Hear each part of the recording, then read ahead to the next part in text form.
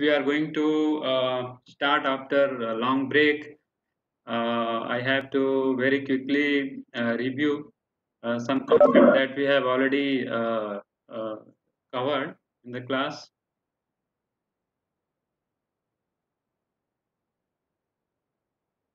Okay, is it okay? Everybody can hear me? Hello? Yes, sir. Yes, sir. Okay, okay, thank you. Sir. So uh, today's topic uh, is uh, supply voltage scaling. Uh, part of this uh, have been already discussed, but uh, I have to start again from the beginning. And uh, if you recall, then uh, we have already discussed about uh, the different sources of power dissipation and uh, those were uh, dynamic power dis- uh, different types of uh, basically power dissipation dynamic power dissipation short circuit power dissipation and the static power dissipation static power dissipation is mainly because of uh, uh, the leakage currents that are observed in uh, MOS transistor. A varieties uh, a number of uh, leakage current can uh, be uh, observed in a MOSFET device that could be a junction leakage current or could be subthreshold current, punch through current or uh, gate leakage current because of uh, the direct tunneling of the carrier or uh, it could be because of the Fowler-Nordheim tunneling or maybe because of the hot carrier injection in uh, ultra short devices. And uh, uh, these all these uh, three components direct tunneling and uh, this FN tunneling and uh, hot carrier injection these um, mechanism give rise to the gate leakage current. So this uh, the total leakage current is sum of uh, because at the same time uh, more than one uh, current uh, leakage current can be possible. Uh, there could be junction leakage current. At the same time there could also be subthreshold current so we have to add all those uh, leakage current components in order to get the total leakage current and once we uh, calculate the total leakage current we can find out the total static power dissipation which is uh, VDD multiplied by uh, I leakage. So another uh, uh, component of the power dissipation as we have already discussed is short circuit power dissipation and uh, short circuit power dissipation is uh, basically uh, it will be observed when the input voltage is between uh, the VTHN to VDD plus uh, VTHP uh, when input voltage is above the VTHN, VTHN is the threshold voltage of the N transistor. So when the input voltage is between this range, the two transistors will be on together and there will be path for the current flow from VDD to the ground and uh, this will lead to uh, a short circuit power dissipation. The short circuit power dissipation as we have already formulated this turns out to be uh, 1 by basically you have to check it k tau uh, f clock vdd minus 2 vth 2 to the power 3 where uh, k is basically equal to kn equal to kp which is mu cx w by l. Tau is uh, the rise time or fall time tau equal to tr or tf and uh, f clock is uh, the uh, clock frequency uh, at which the signal is changing at the input terminal. So this is uh, the another source of power dissipation which is the short circuit power dissipation the third one is dynamic power dissipation and dynamic power dissipation as we have already discussed is alpha times cl vdd square into f.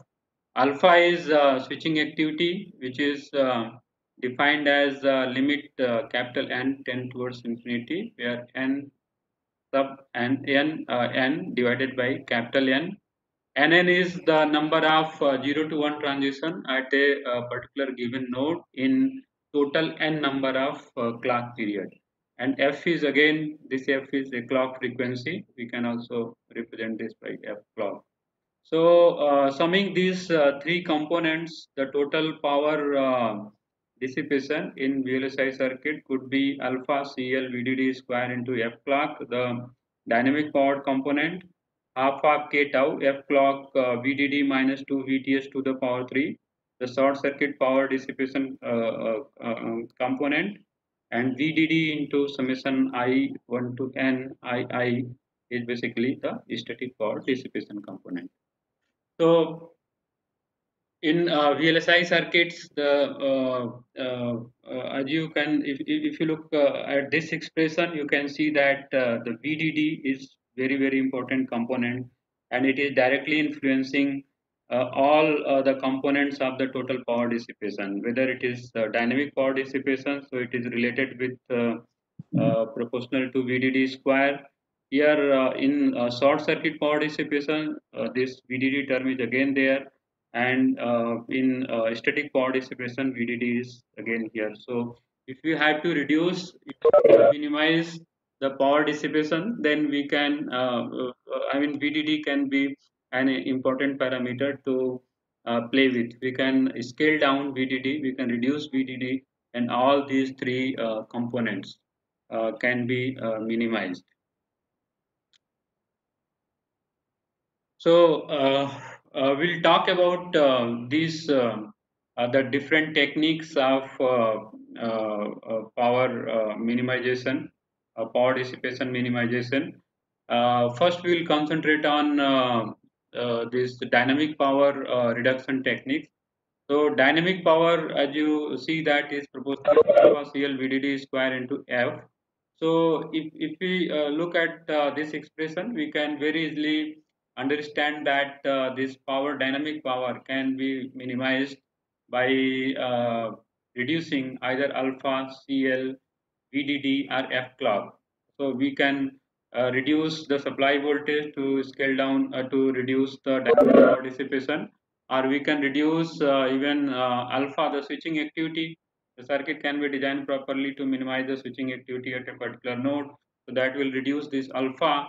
CL, uh, the load capacitance can be minimized uh, again to minimize the dynamic power dissipation and F clock, the clock frequency can either be uh, reduced or uh, time period of the clock can be increased or uh, sometime in uh, some circuits if in a bigger circuit if some particular subsections are not functioning at the particular point of the time then we can also uh, stop the clock in uh, that particular domain so that uh, those circuits will uh, not unnecessarily uh, uh, leak power so that is called uh, basically the clock gating we'll be talking about that later on so uh, from this expression it's uh, very very very much clear that for minimizing the power dissipation supply voltage scaling is very very important and because uh, this uh, power uh, dynamic power is uh, related with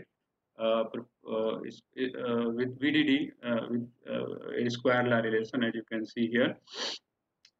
So supply voltage scaling however cannot be done at any extent basically we have to uh, when we reduce the uh, supply voltage there are some undesirable effects also come in picture uh, uh, which is shown here. You can see that in this graph, uh, the delay, normalized delay in fact is plotted with the power supply voltage and here the power dissipation is basically here the power normalized power dissipation is plotted with respect to uh, supply voltage. So you can see that uh, with uh, uh, reducing uh, when uh, the supply voltage is reduced of course the normalized power dissipation is actually dissipation is reducing but at the same time with reducing supply voltage you can see that the delay keeps on increasing. So uh, and uh, this delay increases. Hello? Is it disconnected the slide is not visible. Okay okay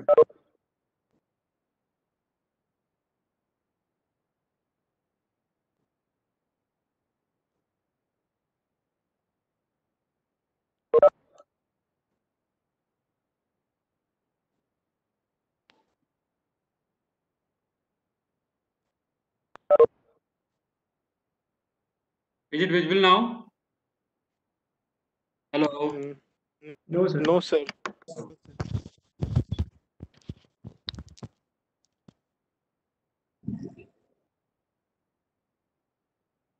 Did you switch off the video?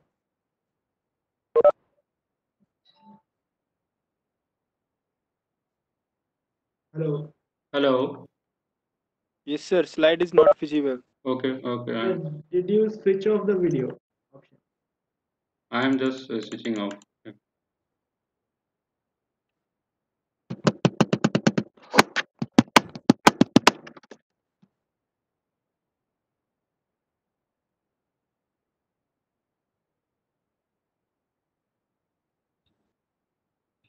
What is happening?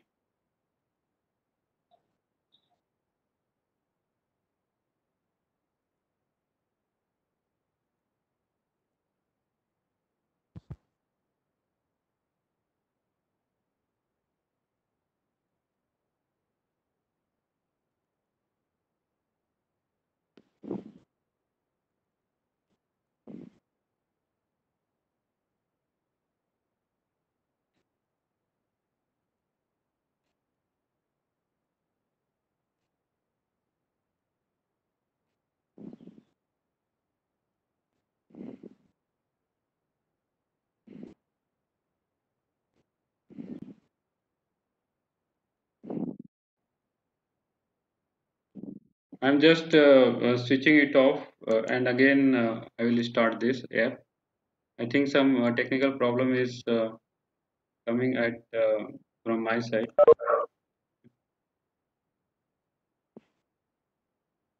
Okay, sir. So uh, all of you will join me. Okay.